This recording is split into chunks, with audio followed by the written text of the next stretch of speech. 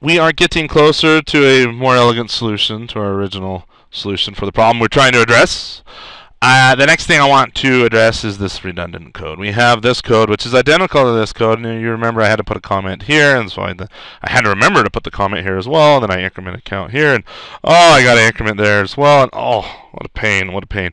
Let's remove the redundancy. We are going to factor, sometimes called refactoring, our code. Let me tell you where the term comes from. If you've done any math, any basic algebra, you'll see equations like this, 3x plus 6. If you haven't done any algebra, don't worry about this example, but still an example. Your teacher tells you to factor this equation. Well, you see that this has a 3, and this, there's also a 3 hiding out in here. Is this not a 2 times 3? So there's really a 3 hiding there as well. So I can pull both of these 3's out.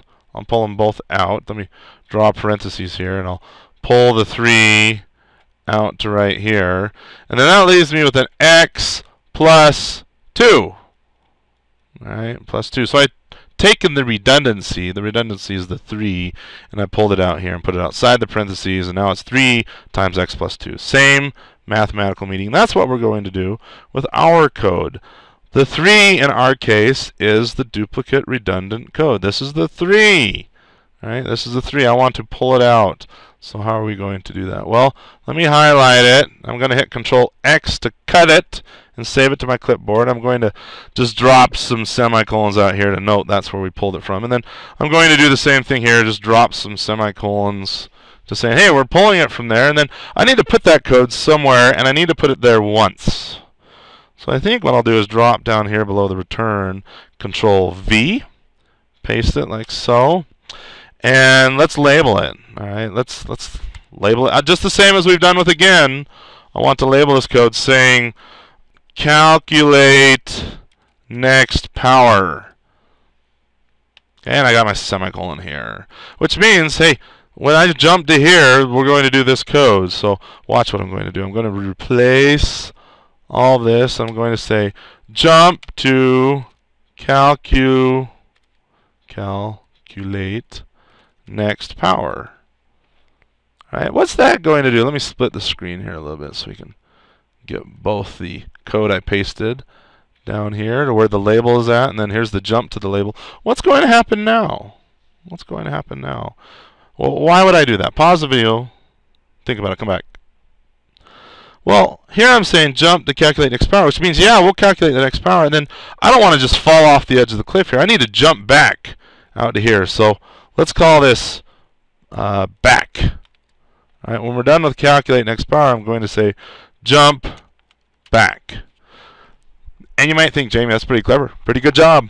There's a problem with it. Can you think of what the problem is? I'll give you a hint. If you can't think of what the problem is, step through it. Pause the video, come back. This will work okay in this first situation. But then down here, look, I'm going to say jump, calculate next power. I'm going to drop that right there as well. And now here I'm going to say jump to calculate next power, which again will execute the code we wanted to do, very good. But then the last thing it's going to do is jump to back. Well, back is way up here. I don't want it to jump there. I want it to come here. We'll call this back 2. So I wanted to jump to back 2 in that case. Oh, well, if I say jump back 2, well, now when I call jump calculate next power, on the first iteration, turn your Turn it up to high def, folks, at home if you need to. When I say jump to calculate next power, well, now I'm going to jump back here. And I'm going to skip all these steps. Oh, what a headache. What a headache.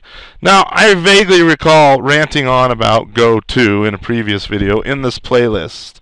And this is why goto is bad, and I must agree. We're using jump, the JMP instruction. That's essentially a go-to in higher level languages, and it's uncontrolled. It's not. It's turning into spaghetti code. Are we? We're going to jump over here, and then we're going to do this, and we're going to jump back here. We're going to jump over here.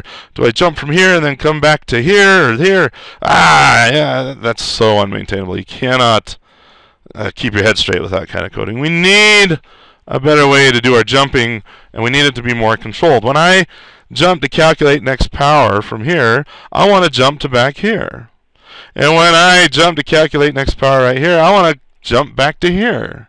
And I could probably reuse calculate next power all over in my code. And I wanted to jump back to where I jumped to. Let me say that again. I need to return. Ooh, there's a word we've seen before. Where have we seen the word return before? I need to return back to where we jumped from, if that makes any sense. And this is where the term function, or in assembly language we call them procedures, come into play. Alright, in the next video I'll show you uh, how, how to use procedures to solve this exact problem.